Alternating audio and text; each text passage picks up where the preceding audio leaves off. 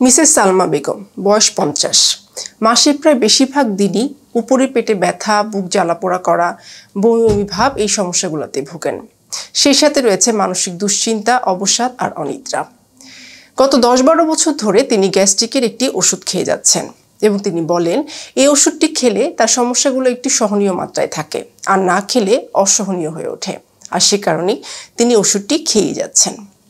সালমা বেগমের মতো রোগী আমাদের দেশে প্রায় প্রতি ঘরে ঘরে রয়েছে এবং এটি খুব কমন একটি সিনারিও দিনের পর দিন এই ওষুধগুলো খাওয়ার পরিণাম যে কতটা ভয়াবহ হতে পারে, একজন চিকিৎসক হিসেবে যে সামাজিক দায়বদ্ধতা রয়েছে, সেখান থেকেই তা বলাটা প্রয়োজন মনে করছি। আর সে কারণেই আমার আজকের এই ভিডিও অ্যান্টি আলসার বা আলসার নিরোধক যে ওষুধগুলো পাওয়া যায়, তার মধ্যে সবথেকে জনপ্রিয় হচ্ছে প্রোটন পাম্প ইনহিবিটর বা পিপিআই সাধারণ মানুষ যেটিকে গ্যাস্ট্রিকের ওষুধ বলে থাকেন। এবং এই ওষুধগুলো সাধারণত সেকলো, লোসেকটিল, প্যান্টোনিক সার্জেল ফিনিক্স ইত্যাদি বিভিন্ন নামে বাজারে কিনতে পাওয়া যায়। এই ওষুধগুলো সাধারণত আমরা ব্যবহার করে থাকি পেপটিক আলসার ডিজিজ নামক এক ধরনের রোগে, যেখানে আমাদের অন্ত্রে এক ধরনের ক্ষত হয়ে থাকে এবং অন্যান্য কারণের সাথে হেলিকোব্যাক্টার পাইলোরি নামে একটি ব্যাকটেরিয়া এই রোগের জন্য দায়ী। বর্তমান সময়ে চিকিৎসা শাস্ত্রের অগ্রগতির কারণে শুধুমাত্র দু সপ্তাহের একটি চিকিৎসায় এই রোগটিকে পুরোপুরি সারাতে সক্ষম। তার জন্য দীর্ঘ সময় ধরে পিপিআই সেবন করার কোনোই প্রয়োজন নাই।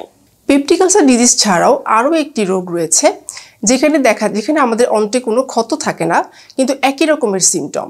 যেমন উপরে পেটে ব্যথা, বুক জ্বালাপোড়া করা, পেট ভারী হয়ে আসা, বমি বমি লাগা, গলার কাছে কিছু আটকে আসছে বলে মনে হয়, এই সমস্যাগুলো দেখা দেয়। এই রোগটিকে আমরা বলে থাকি নন আলসার ডিসপেপসিয়া বা ফাংশনাল ডিসপেপসিয়া বিভিন্ন রকমের মানসিক চাপ, দুশ্চিন্তা, অবসাদ, অনিদ্রা ইত্যাদির কারণে এই রোগটি হতে পারে এবং এটি কিন্তু আমাদের তেমন কোনো ক্ষতি করে না। তবে এই সমস্যাগুলোতে যদি কেউ পিপিআই গ্রহণ করে, তাহলে দেখা যায় যে সাময়িক একটু আরাম হয়। তবে কেউ যদি একটু কষ্ট করে এটিকে মানিয়ে নিতে পারে, তাহলে এই ওষুধগুলো সেবন করা ছাড়াই পুরোপুরি সুস্থ থাকা সম্ভব। এবারে আসি দীর্ঘমেয়াদী পিপিআই গ্রহণের ফলে কি কি পার্শ্ব প্রতিক্রিয়া হতে পারে।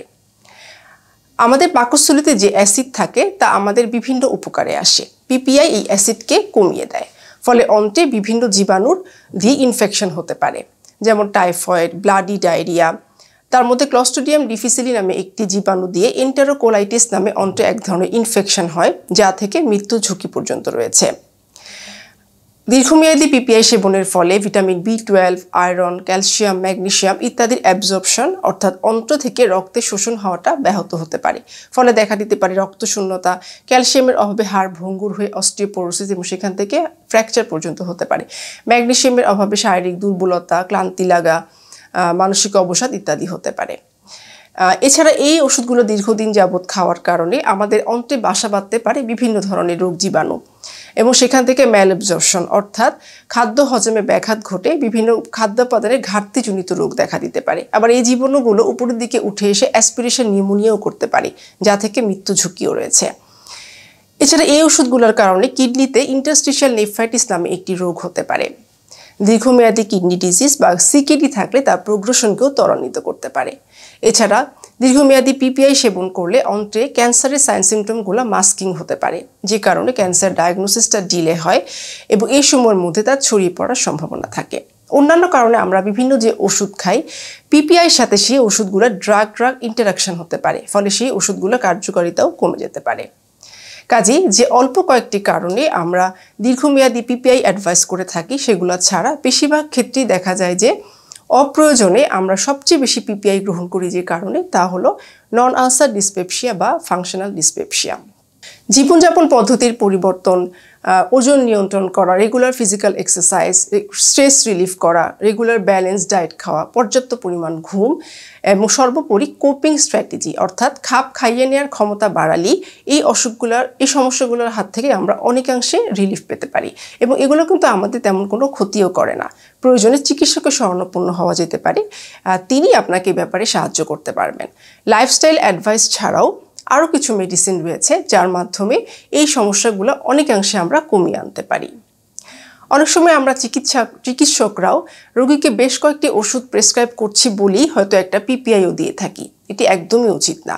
অনেক সময় রোগীরাও চিকিৎসকের পরামর্শ ছাড়াই সেগুলো কিনে খান। বিভিন্ন গবেষণায়ও দেখা গেছে দীর্ঘমেয়াদী পিপিআই গ্রহণের ফলে যে পার্শ্ব প্রতিক্রিয়াগুলো হয়, সেগুলো মৃত্যু ঝুঁকি বাড়ায়, বিশেষ করে বয়স্ক মানুষের ক্ষেত্রে। এছাড়াও এই দীর্ঘদিন একটা ওষুধ খাওয়ার ফলে আমরা কিন্তু আর্থিকভাবেও ক্ষতিগ্রস্ত হই। কাজে আসুন, অপ্রয়োজনে এই ওষুধগুলো সেবন করা থেকে বিরত থাকি, নিজে সচেতন হই, অন্যকে সচেতন করি।